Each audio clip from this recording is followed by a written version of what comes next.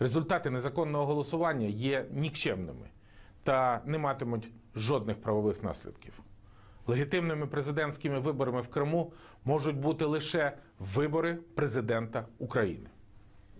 Чергова ж спроба Кремля легітимізувати агресію та анексію повністю приречена на провал. Легітимність президентських виборів Російської Федерації та нібито обраного на них кандидата ставиться під сумнів не лише незаконним проведенням голосування в тимчасово окупованому Криму. Це в цілому був політичний фарс, який не має нічого спільного із виборами в демократичному розумінні цього процесу. Це був вибір без вибору, без реальної політичної конкуренції, без свободи слова.